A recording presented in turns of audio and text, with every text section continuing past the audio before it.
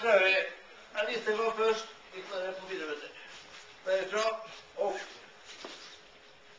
til albuen. Opp med hofta. Opp med hofta. Opp med fotene. Og så opp. Stabilisere. Og bort igjen. Opp. Og søvn.